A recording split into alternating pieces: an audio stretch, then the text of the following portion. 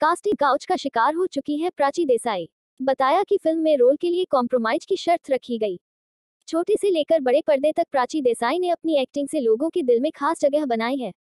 साल 2006 में TV serial कसम से डेब्यू करने वाली प्राची देसाई ने साल 2008 में फरहान अख्तर के साथ फ़िल्म रॉक ऑन से बॉलीवुड करियर की शुरुआत की थी।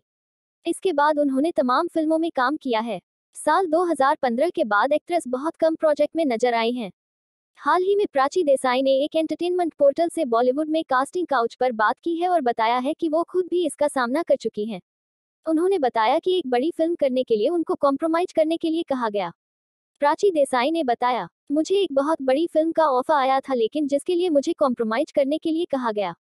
जब मैंने इनकार कर दिया तो डायरेक्टर ने मुझसे फिर संपर्क किया। मैंने साफ़ कह दिया कि मुझे फ़िल्म नहीं करनी है। प्राची देसाई ने महसूस किया है कि बॉलीवुड में भ्रष्टाचार और नेपोटिज्म भी है। प्राची देसाई ने कहा है कि वह इस बात से खुश है और टीटी आ गया है क्योंकि बहुत से ऑप्शन हैं और देखने के लिए बहुत कंटेंट है। एक्ट्रेस के पास आने वाले दो महीनों में दो दिलचस्प डिजिटल प्रोजेक्ट हैं। प्राची देसाई ने once upon a time in Mumbai Bol Bachchan Azhar life partner और पुलिस गिरी जैसी फ़िल्मों में किया है। प्राची देसाई ने हाल ही में साइलेंस कैन यू हियर नाम की फ़िल्म से वेब डेब्यू किया है।